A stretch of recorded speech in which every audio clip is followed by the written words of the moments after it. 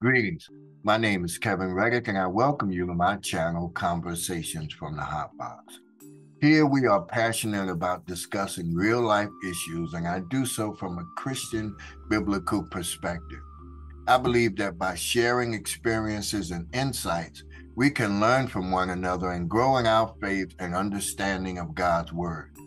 Please don't forget to hit the subscribe and notification buttons uh, like us and revisit our channel for more engaging and enlightening sessions.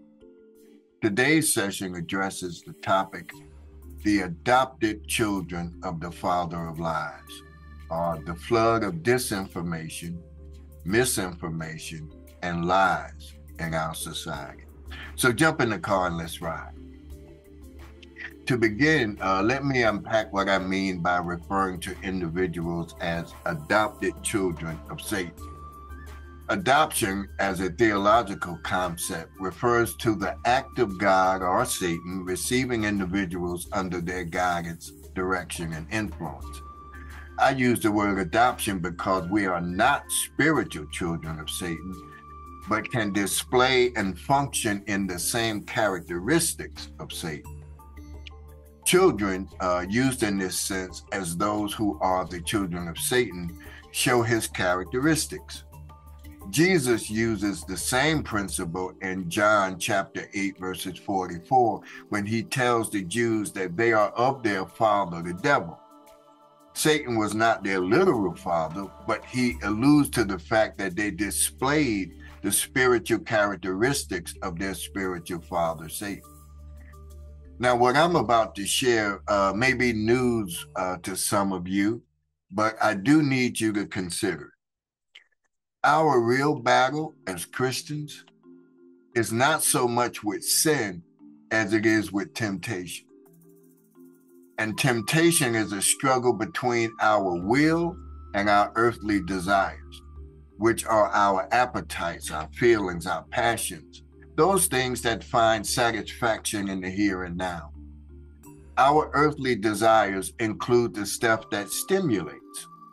These things are not bad in and of themselves, but only when they are off limits in God's sight.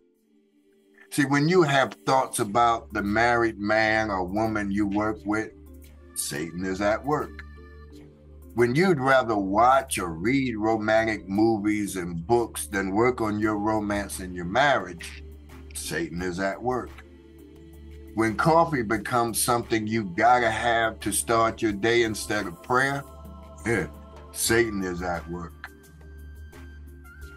When these earthly desires play a tug of war with your spiritual will, Paul calls that the lust of the flesh. When Adam and Eve occupied Eden, the only thing Satan could use to appeal to their earthly desire was one fruit tree among many. Sometimes, you know, I think about that and I, I just can't get over that.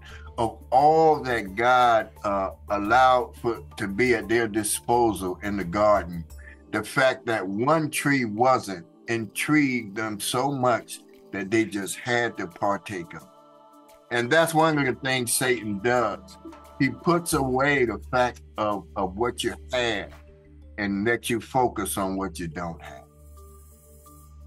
And how much more valuable uh, are we when Satan has worldly lurks uh, uh, or worldly uh, uh, weapons, so to speak, such as mass media, the internet, alcohol, prescription drugs, nicotine, caffeine, pornography at his disposal to tempt us.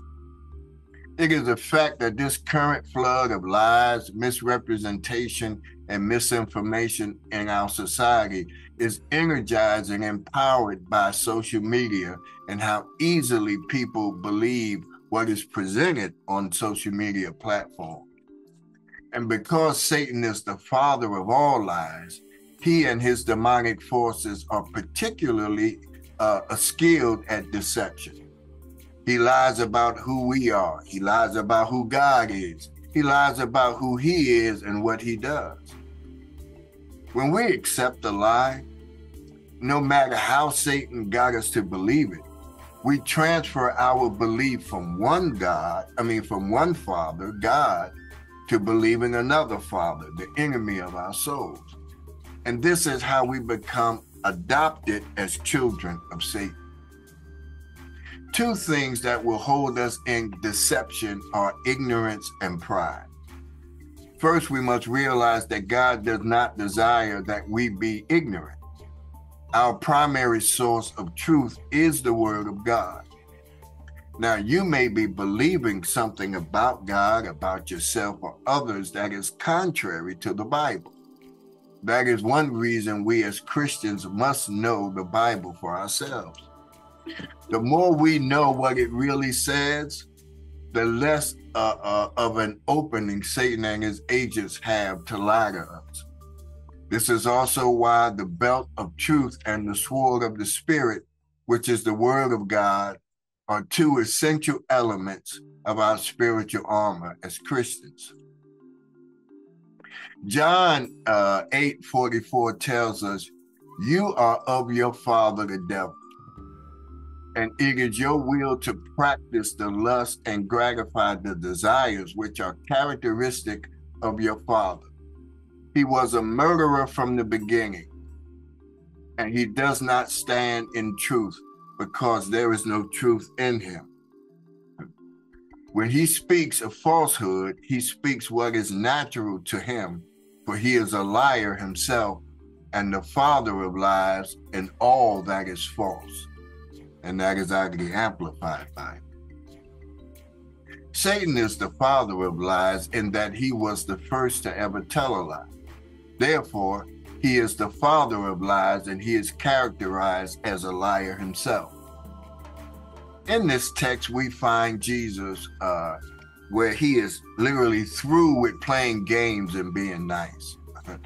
he had listened to these people claim that Abraham uh, uh, uh, and God as their father, and he was no longer interested in the lies they were telling. Jesus asserted that his mission was one from God. But the mind, their minds were so prejudiced that they were unable to hear what it was Jesus was sharing with them. And one of the outcomes of prejudice and racism is the inability to hear and accept the truth, contrary to current incorrect thoughts living in the mind, which is producing the prejudice and the racism. This ideal of moral impossibility is further underlined in the charge that the devil was their father. The implications of this were far-reaching. Uh, uh, you know, there there are stages in the in the thought processing here. Here we, we see the devil is a murderer, and we find that these people were seeking to kill Jesus. Therefore, they are his children.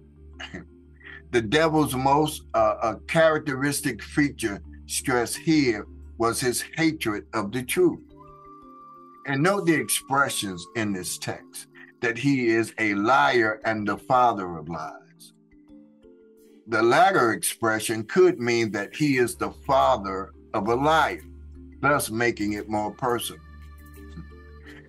Jesus declared that Satan does not stand in the truth. To stand refers to being in or to rise to an upright position. Upright implies having or showing a strict regard for what is morally right and a strict adherence to moral principles.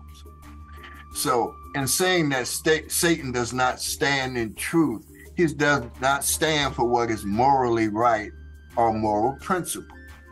But make no mistake, Satan is standing. Not only is he standing, he's walking and running, but he's walking and running in the in the activity of standing in falsehood. The writer of Psalms 1 and 1 informs us Blessed is the man who walks not in the counsel of the ungodly, nor stands in the way of sinners, nor sits in the seat of the scornful. What this text is saying is blessed in the, it is the individual who stands on and declares truth. You know, Paradise Lost, which is a reference to Adam and Eve being kicked out of the garden, uh, began with the lies of the serpent. the serpent of old who is called the devil and Satan and who deceives the whole world according to Revelations 12 and 9. So it is no surprise that we find the devil uh, uh, spewing deceit. And since he is crafty, since, since his expertise is crafting lies that sound almost true, we find Eve falling for his schemes. See, God, God had said quite plainly not to eat of one tree in the middle of the garden. But the devil was able, with his clever lies, to convince her that she should indeed eat. Satan is no less cunning today, and therefore it may be helpful for us to observe his strategies and guard ourselves accordingly. He is a deceiver, and lies are his favorite weapons. Satan does not specialize in, in lies that are quite apparent. you know, his his stock and trade are the uh, uh, gray white variety, so to speak, with just enough truth in them to trick the un, un, unknowing. Now, there was a measure of truth in what he said to Eve. She and Adam did come to know good and evil, but they had no power to do the good or resist the evil.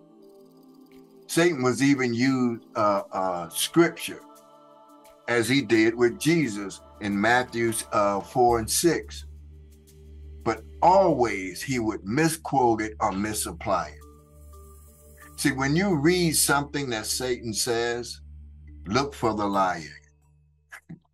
he cannot speak the truth. When we believe his lies, they take root in our minds, and Satan establishes a stronghold. And this is why it is so difficult to identify the lies and even more difficult to stop believing them. And this is also true for those who operate as his children and and and and just spew out lies to the people. Understand that truth is always available to us should we decide to embrace it.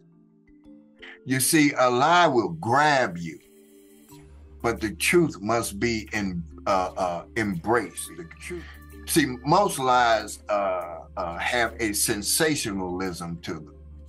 So they grab or, or seize us suddenly and roughly. And to grab implies more roughness or rudeness than to hold or embrace. To embrace is an act of accepting or supporting something willingly, enthusiastically we hold someone or something close as a sign of affection. Jesus is the truth that should be embraced. He is more powerful than Satan, and therefore his truths are more powerful than Satan's lies. By allowing truth to take root in our minds, Satan's stronghold is weakened and eventually destroyed. God's claim uh, uh, uh, uh that are grounded, that were once occupied by Satan, but renewing our mind sets us free. And this is what is meant by the statement, we shall know the truth, and the truth shall make us free. Nothing is more victorious than a person uh, uh, uh, captive to a cult than to recognize the lies and accept the truth of Christ and all in that be set free. Galatians chapter 5, verse 1 tells us, and this is one of my favorite scriptures, it says, It is for freedom that Christ has set us free. Stand firm then and do not let yourselves be burdened again by a yoke of slavery. Why do people lie to and about each other? That's a good question. That's a good question. And I want to just let that resonate for a moment because there is a reason. And the answer to that question is situation based. See, partly it's, it's from malice, partly it's from pride. See, when you lie to put someone else down, it's malice. When you lie to impress or move and use them, or to keep them from seeing you in a bad light it's pride. Satan lied and he continues to lie because he hates God and his children. Men lie to shield themselves from exposure and to further uh, their exposed interests. Fear, contempt, and revenge, boastful deceit, fraud, and the desire to shine by telling a good story are other motives that prompt lies. For example, catching a four foot fish makes for a better story than catching a four inch one. Lying insults one's intelligence and shows a lack of respect for the one receiving the lie. A truth telling, promise keeping God who cannot lie and who wants to see us in his own moral image naturally hates a lying tongue and a false witness who breathes out lies. There is no godliness without truthfulness. Now, if you knew a person close to you was known for continually lying and telling stories that were actually not true, in most cases, you would place no confidence in that person's word. Why then do we dwell on the suggestions pouring into our minds that are the product of the world's greatest lie? If we knew that the darts burning into our thoughts and emotions are coming from the enemy, and the enemy is a liar, then shut out the liar and close the door on his lies and the lives of his children. Because of Satan's influence in the earth, being truthful represents a new problem. See, there are people to whom it is clearly not uh, uh, healthy to tell the whole truth, and then there are those deemed not yet strong enough to take bad news. Those uh, mad and bad folks who would use what you tell them to harm others, such as a politician uh, who, who puts serving himself above serving the citizens he or she is supposed to represent. Many engage in prideful lying designed to put one down to exalt themselves at the other's expense. Yet a lie, even when prompted by love, loyalty, a, a recognition, yet it still remains an evil thing not to tell the truth according to the Bible. To bear false witness for one's neighbor is not so bad as bearing false witness against one's neighbor. But the lie is still a lie. Now, rightly, uh, an individual can feel defiled. Rightly, he will seek fresh cleansing from the blood of Christ and settle for living the only way one uh, uh, can live with our holy God by the forgiveness of sins. So again, we say, Lord, have mercy and lead us not into this particular type of temptation where only a choice of sin seems to open up to us, but yet deliver us, Father, from evil. The five main root sources of lying are one, Satan's direct influence, two, wrong information, three, denial or situational ethics. What I mean by that, for example, is uh, uh, individual that says, I don't see myself as a liar. If accomplishing a greater good means I have to distort the truth, I'll do it. That's just you. That person is in denial. You're still lying. Number four is shame. Example of that is individual says, I have to lie because I'm afraid of what others will think of me, since I'm not the person I should be at times. Number five is manipulation, influencing or controlling someone or something to one's advantage, often without the other person's knowledge. For example, someone might be manipulated or manipulating other people's feelings or public opinion. Lying has become an act so abundant in our daily interactions that it is often taken for granted. Yet, it is an intriguing phenomenon that begs a deeper investigation into its true impact on our mental health, our relationships, and society at large. Lying refers to the deliberate act of deviating from the truth with the intention to deceive. This human behavior varies in scale and impact, from the so called white lies told to protect someone's feelings to grand deception, which can change the course of an individual's life. According to Robert Feldman's 2002 study, up to 60% of adults cannot have a 10 minute conversation without lying at least once. This staggering statistic puts into perspective how commonplace lying is in our everyday lives. When one is at the receiving end of the lie, it can lead to psychological distress and relationship issues. Being lied to often incites feelings of betrayal and hurt. It can be, it can be an emotionally disorienting experience that leaves the individual questioning their judgment.